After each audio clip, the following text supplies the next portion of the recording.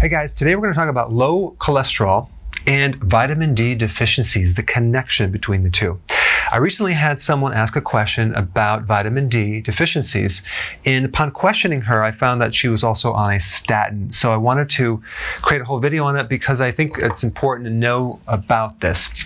In order to make vitamin D, you need cholesterol. Cholesterol is essential for the production of vitamin D. So even when you get sun, for example, and it hits your skin, there's a chemical combination that occurs with sun, skin, cholesterol, and then the conversion to the liver and kidney to make vitamin D. And by the way, vitamin D, one of the functions of vitamin D is to increase the absorption of calcium by 20 times in the small intestine. Vitamin D also is anti inflammatory, it's anti thrombotic, which means it reduces clots in the body. It also helps in vascular protection. It helps your heart. It increases HDL. It's anti cancer. Now, here's the problem when people are taking statins, guess what? They're blocking all the cholesterol in the body. And they're also lowering their vitamin D. And there's an interesting connection between the main symptom of statins, which is achy muscles, and the main symptom of vitamin D deficiency, which is achy muscles. It's exactly the same thing.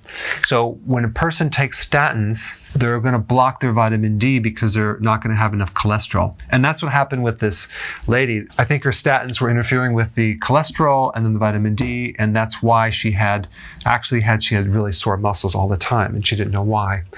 So she was thinking I was going to take vitamin D. Yes, you can do that, but you, you really want to take a look at the source material that's actually making vitamin D.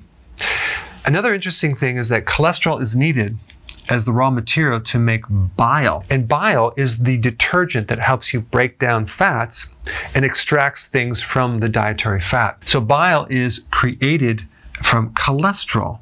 So again, if you don't have enough cholesterol, you can't make enough bile. And if you don't have enough bile in the gallbladder, you're not going to absorb the vitamin D, and you're also not going to be able to break down the cholesterol that comes from the diet in the future. So you actually need bile to break down cholesterol, but you also need cholesterol to make bile. So there's a huge connection back and forth. People that are bile deficient end up getting kidney stones, and those are cholesterol stones.